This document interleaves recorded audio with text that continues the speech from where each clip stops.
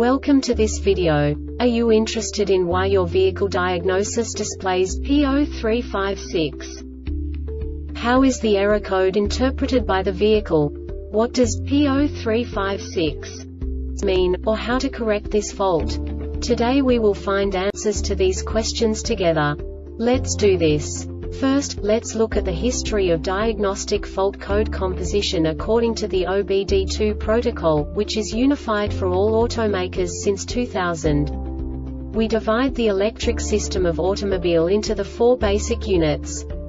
Powertrain, body, chassis, network. This distribution is defined in the first character code. If the second character is expressed as zero, it is a standardized error.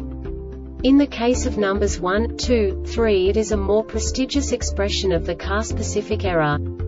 The third character specifies a subset of errors.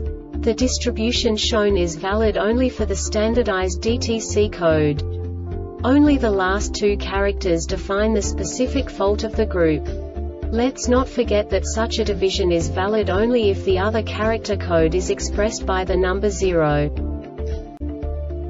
Our website airbagreset.sk produces useful videos for you. You do not have to go through the OBD2 protocol anymore to know how to troubleshoot any car breakdown. You will find all the diagnostic codes that can be diagnosed in a Cadillac vehicles. Also many other useful things. The following demonstration will help you look into the world of software for car control units. You unbelievably can move the video a bit further. The error code is split into two bytes consisting of 16 bits. One bit is the basic unit that each computer works with. The bit has two logical states. 0, low level, 1, high level. By combining the first two bits, the basic character of the error code is expressed. The next two bits again determine the second character. The last beat styles of the first byte define the third character of the code. The second byte is composed of a combination of 8 bits. The first 4 bits determine the fourth character of the code. And the combination of the last 4 bits defines the fifth character.